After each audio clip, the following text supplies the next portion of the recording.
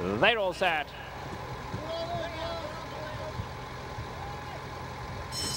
And away they go to a perfect start.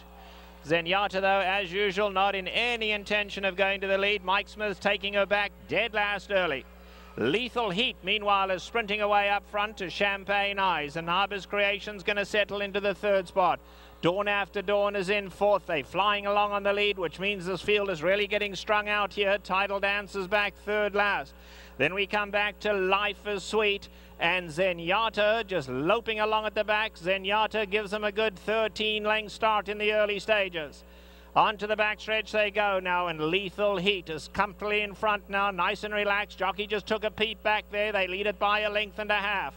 In the second spot is Champagne Eyes. Inside of that comes Anabaa's Creation. Dawn After Dawn is fourth, no more than three lengths off the leaders.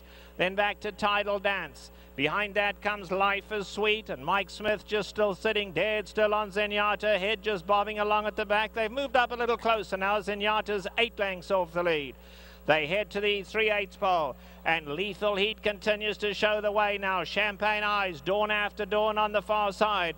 Down at the rail, and Anabaa's Creation. In behind that comes Tidal Dance. Now here comes Life is Sweet with her run. And let's see Zenyatta, Mike Smith starting to shake the reins at her now. And Zenyatta's lengthening her stride. Zenyatta's going to hook to the grandstand side now. They come for home. Lethal Heat is the leader. Dawn after dawn, and Anabaa's Creation.